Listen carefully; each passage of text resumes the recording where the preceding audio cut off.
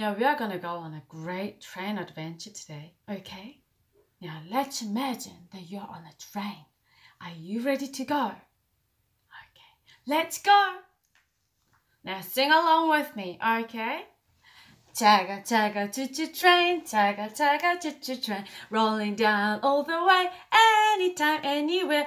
Let's all ride the train together. Have some fun, have some fun. Chugga chugga choo choo train, chugga chugga choo choo train, rolling down all the way, anytime, anywhere. Well done! That was an awesome job. Wasn't that fun? Yes! Now today we're gonna draw a train that can move.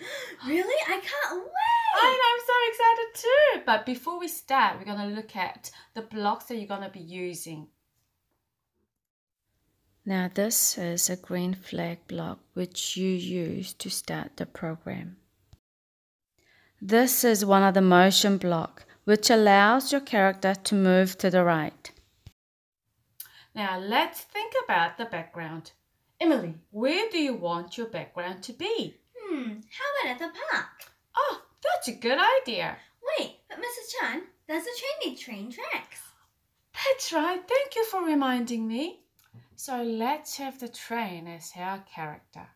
So what color is your train going to be? Now it's time to do it on your iPad. Are you excited? I'm very excited. Now let's get your iPad.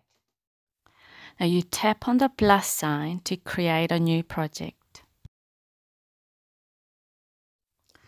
Now you tap on the landscape icon in the top of the screen and it will take you to the background library.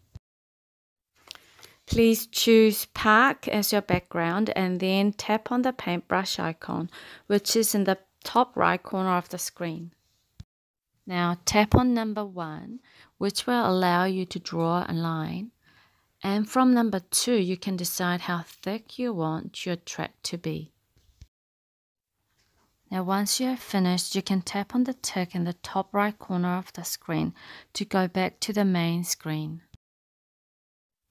Since you don't need a cat as your character, you're going to delete it. Tap the cat and hold until you see a dancing red X, and then tap the X to erase it. Now it's time to draw your own train. Yay! I'm so excited. Are you excited? Tap on the plus sign in the top left corner of the screen.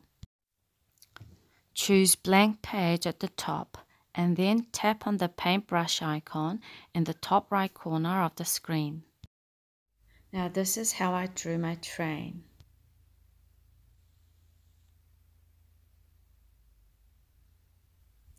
You can tap on the arrow button on your right to drag the shapes to where you want it to be on the screen.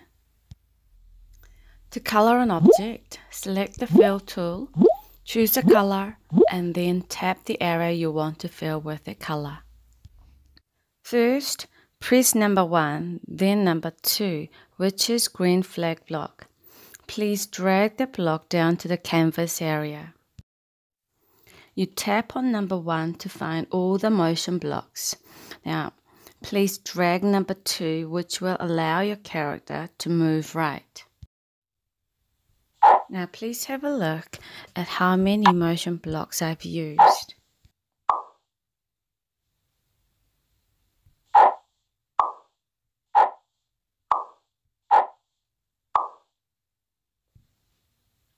Now this time I'm not going to add so many motion blocks, but instead I'm going to change the number in the little box. Tap the number and you'll see a keypad. Type in the number of steps that you want your character to move. Did you all have fun creating your own train? Now this time I would like you to use your imagination and create a different character and a different background. And now I'm going to share what I've created. Okay? My story is about Jesus walking on water. Have you ever tried walking on water? It is impossible, but with Jesus, anything is possible. Do you know what he said to his disciples on the water? It's okay. I am here. Do not be afraid. So, everyone, remember, He is with us all the time. Do not be afraid. Now it's time to look at my character move. I also added speech block. Why don't you all have a go at creating your own story? Now, one very important thing that I need to tell you before I go is how to save your work. Now tap on the yellow shape in the top right corner and type the name of your project. Done everyone. Thumbs up.